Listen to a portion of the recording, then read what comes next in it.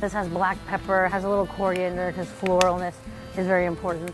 Uh, some thyme, some fresh bay leaf, um, salt, of course. See, lamb, because of its con fat content, like, is gonna char up, and I'm okay with that.